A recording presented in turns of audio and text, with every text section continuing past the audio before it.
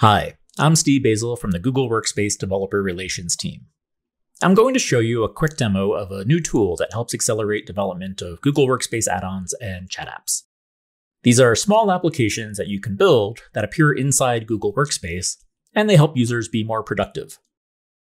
The user interfaces for these applications are described in JSON or Apps Script using a card-based UI framework.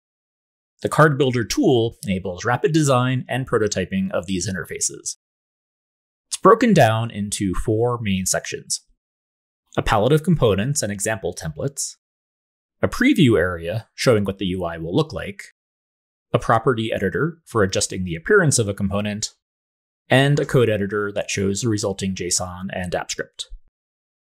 To start, you can choose from a predefined template that matches your use case, or start with a blank card. Next, add components by clicking on them. You can reorder components in the preview by dragging them around. Keyboard shortcuts for these and other actions are also available. You can then edit the properties of the currently selected component using the property editor. As the component is updated, both the preview and the resulting JSON are updated to match. If you prefer working directly with JSON, you can. The JSON representation is fully editable, and any changes made are reflected in the preview area. Schema validation and code completion are also enabled to help you design your UIs faster. When you're done, copy the resulting JSON or generated Apps Script code into your project and adapt as needed.